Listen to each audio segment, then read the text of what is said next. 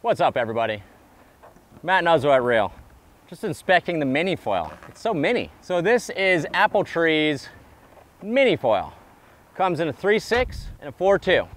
This is made for kite foiling. And I've been riding the 4.2 a bunch and it is an amazing board for kite foiling because it is just so stable. And I just was checking out the shape of this thing. I mean, it is like deadpan flat on the deck. Like from insert to insert, it is just perfectly flat on the deck. Bottom, same thing.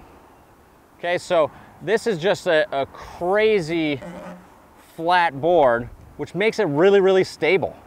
Kind of like everyone's putting in so many wild concaves and all sorts of crazy stuff on the top and the bottom. And sometimes simple is better. And you know, having ridden this board, like it really rides very, very stable for the size of the board. Um, you know, I'm normally riding my prone surfboard, which is like 4.5. And so going to a 4.2 is a little smaller, 3.6, I've ridden this one too. They're just so stable for the size and the design. Has this big kind of nose on it, a lot of rocker on the nose, and it just kind of comes up off the water easily, gets going easily. Even when you're on the water, you're kind of haven't got going. You're, you're kind of just stable when you're there. And then when you get going, it, it just feels like a way bigger board than it is based on the stability. Most boards, when you drop the board size, you drop the stability. So smaller board, it's gonna come way more sensitive. In this case, you keep dropping board size and it's still really, really stable. It doesn't feel twitchy at all. But you have that positive feel to the foil because of Appletree's legendary construction. So Appletree is making these boards, you can see it's full carbon wrap on them. They've got their proprietary foam in here, um, and what they do is they vacuum bag all the materials, the boxes, everything. They've got fully reinforced patch over here, putting the boxes in, reinforcing the boxes, and sucking all the air out for 24 hours. And then when they infuse the resin, all that resin goes down into any crevice that was around the side of the boxes, anywhere in the material. So it basically bonds the material to the blank. So you have a really, really positive feeling. It has this kind of dense but positive feel. So it's stable, but you know, like it's not like twitchy. Most boards you get this size, they start to, in their full carbon, they start to feel really twitchy and you have to really be on top of it, particularly if you're using a more performance-oriented foil.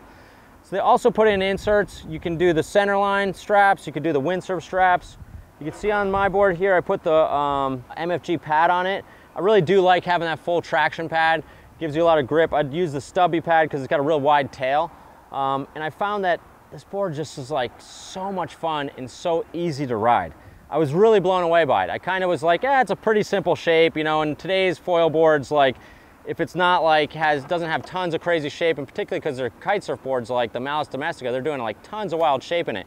This thing, they just went clean and simple, and it is amazing. It works so well.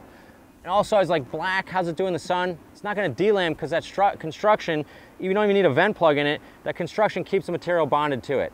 I saw a guy in our yard last summer that had one. His thing was just sitting there baking in the sun. I was like, dude, don't you want to take that thing out of the sun? He left it there all day. I was like, that board's dead. Came to the end of the day, board's totally fine. He's like, no, it can sit up there all day. It's no, no problem. So it comes in a 3.6, a 4.2. Been really happy with how well these things are riding. If you're you're not going to get this as a beginner foil board, but if you're kind of learning to foil and want to have something that's like you aspirationally want to get on, you want to get something smaller than what you're normally, you're kind of available to do because you're just starting to do, going the 4.2 is going to be awesome. If you want something you can travel with, that's going to pack into any board bag, 3.6, totally amazing. And it's also, you're going to feel everything that that board, uh, that foil is doing. So uh, really great job by Appletree here, fired up by the mini foil. Want more reviews?